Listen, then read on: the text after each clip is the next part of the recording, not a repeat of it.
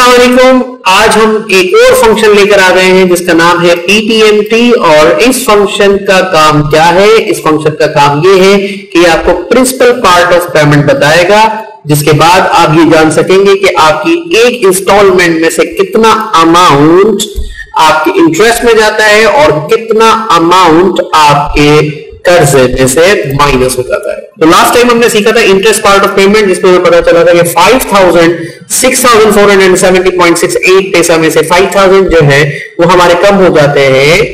Profit में चले जाते हैं, बाकी रिमेनिंग अमाउंट कर्जे में से कम होते हैं। तो बाकी रिमेनिंग अमाउंट कितना है, ये मालूम करने के लिए भी हमारे पास एक फ़ंक्शन है, जिसका नाम है पीपीएमटी मतलब principal part of payment principal part of payment मालूम करने के लिए आपने क्या करना है? सबसे पहले फॉर्मूला में जाना है फाइनेंशियल फ़ंक्शन पे क्लिक करना है, यहाँ से एक फ़ंक्शन लेना है जिसका नाम है टीडीएमटी और रेट पे जाके आपने रेट पे क्लिक करना है, पर में जाके वन लिखना है और एन पर में जाके आपने ड्यूरेशन बताना है प्रिंसिपल वैल्यू प्रिंसिपल वैल्यू बतानी है और फिर आपने रेट को डिवाइड कर देना है।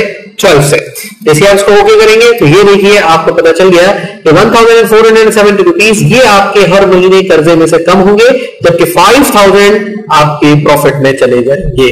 और फ्यूचर वैल्यू मालूम करने के लिए लास्ट टाइम भी सीख सकते हैं लेकिन आइए जल्दी से करके देख लेते हैं। तो एक ये छोटा सा हमारा सॉफ्टवेयर बन जाएगा, जो ये सारे काम हमें करके बता रहा होगा।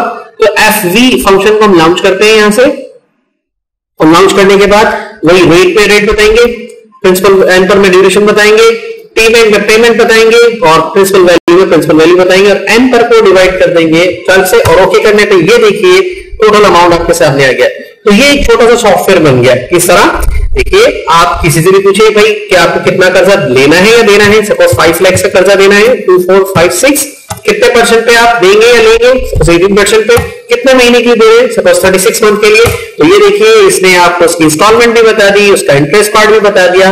और उसका आपको प्रिंसिपल पार्ट भी बता दिया, और टोटल अमाउंट जितना रिटर्न करेंगे, वो भी आपको पता चल गया। तो ये देखिए फाइनेंशियल फ़ंक्शन में हमने बेहतरीन तरीके से तमाम फ़ंक्शन को सीखा, और उसमें हमने अपनी वैल्यूज़ को निकालना भी सीखा, और अपने इस प्रॉब्लम के सोल्यूशन भी सीखा।